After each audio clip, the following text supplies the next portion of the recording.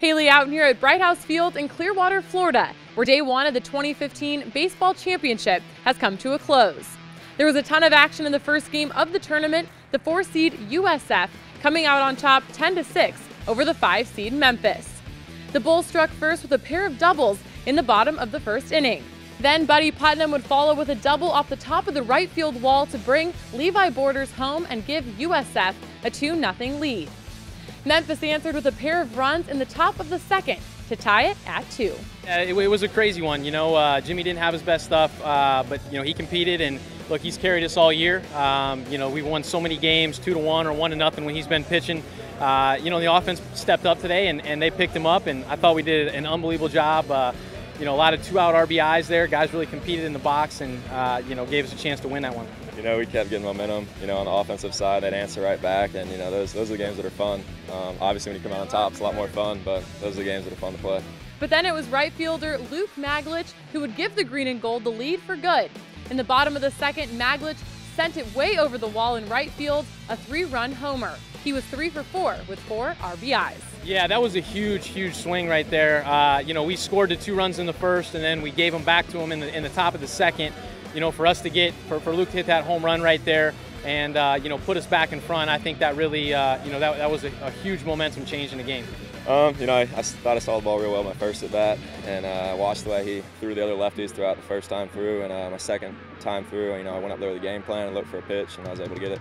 It was another outstanding performance by unanimous American first team selection, USF catcher Levi Borders. Take a look at this play from the fourth.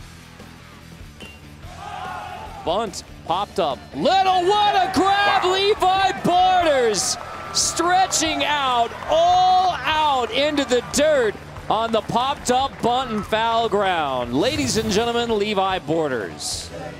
You see why there's excitement about this kid, let alone the, his last name being Borders. A lot of hustle. The Tigers would continue to chip away at the lead, but three insurance runs at the end sealed the deal for the Bulls. USF scored its first seven runs with two outs. Yeah, I mean, we talk about it all the time. You know, every single pitch is important. Um, you know, you just can't give at bats away, and you got to continue to battle. And uh, guys did that today, and, and, we had some really, really big two out RBIs there. You know, I think one of the biggest things with our team is we don't press. You know, even when we got two outs, we believe in it, and you know, just knowing that you're going to come through. You know, they they make us feel good, and they give us confidence at the plate. And with two outs, it's no difference. You know. USF pitcher Jimmy Herget struck out eight batters in six innings to get the win and improve to 9 and 3 on the year. Two USF relievers combined to work three innings of one hit shutout ball. Memphis's Alex Gunn took the loss, falling to 6 and 2, while Darian Tubbs was 2 for 5 with two RBIs for the Tigers, who finished with 10 hits. The Tigers will play in the final game of the day tomorrow against Cincinnati in a win or go home situation for both teams. USF will have the day off and return to action on Thursday against Houston, who also picked up a key win to start off the tournament tonight. The one seed fought from behind against the eight seed, Cincinnati, to advance to the winner's bracket.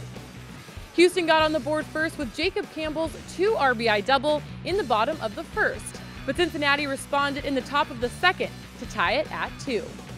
Kyle Survance led off the bottom of the third. He would send a shot over the right field wall to put the Cougs back on top but the Bearcats would answer again in the top of the fourth to reclaim the lead.